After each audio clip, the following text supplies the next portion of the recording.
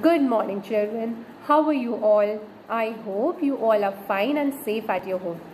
Children, yesterday in maths, we did writing numbers 1 to 30. Okay?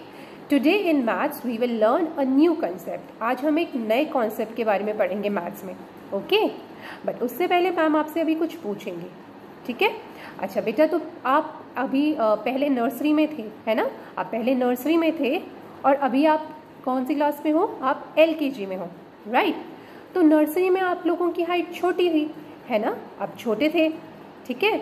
और L में आप क्या हो गए हो? अब आप लंबे हो गए हो। अब आप लोगों की हाइट बड़ी हो गई है है ना? अब आप लंबे हो गए हो तो पहले आप छोटे थे नर्सरी में, और अब आप एल में आ गए हो तो आप लंबे हो गए हो, है ना? आप थोड़े लंबे हो गए हो।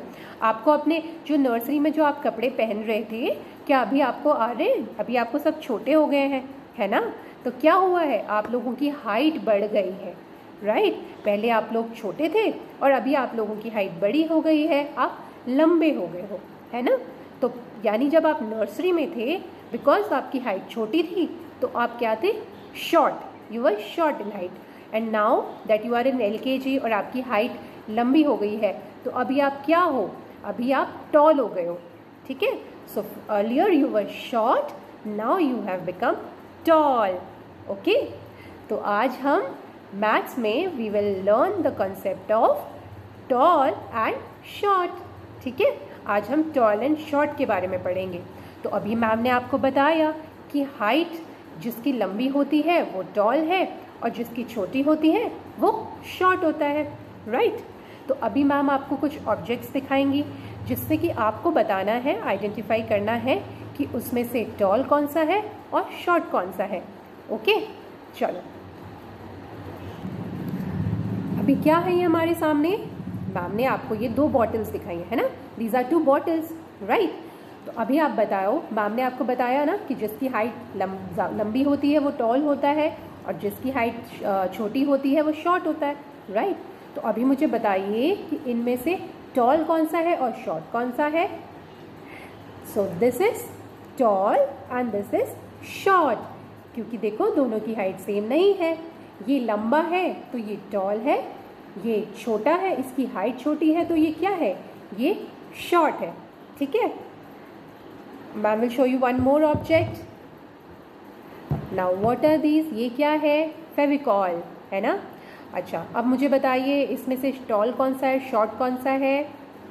चलो ma'am will tell you see इसकी हाइट इससे लंबी है है ना? तो ये क्या हुआ? ये टॉल है, ठीक है? और इसकी हाइट छोटी है, ये इससे छोटा है है ना? तो ये क्या है? ये है short right this is tall and this is short okay children now ma'am will show you two pencils okay अच्छा अब मुझे बताइए, इसमें से कौन सा टॉल है, कौन सा शॉर्ट है?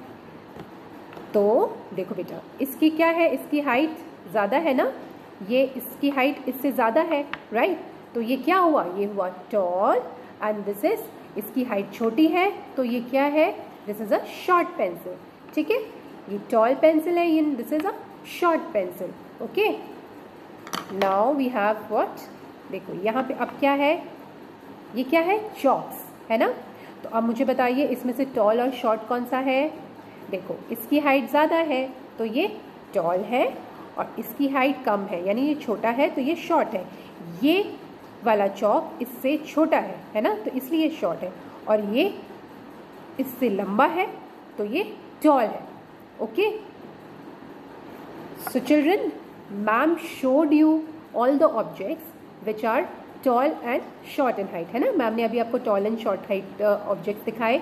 Okay so today we learn about the concept of tall and short okay अभी मैम की वीडियो देखो और दोबारा से आप इस टॉपिक को समझो और घर में भी आप फाइंड आउट करो कि कौन सा ऑब्जेक्ट टॉल है और कौन सा ऑब्जेक्ट शॉर्ट है। ठीक है? यानी किसकी हाइट ज़्यादा है और किसकी हाइट कम है? यानी कौन लंबा है और कौन छोटा है। ठीक है? चलो बाय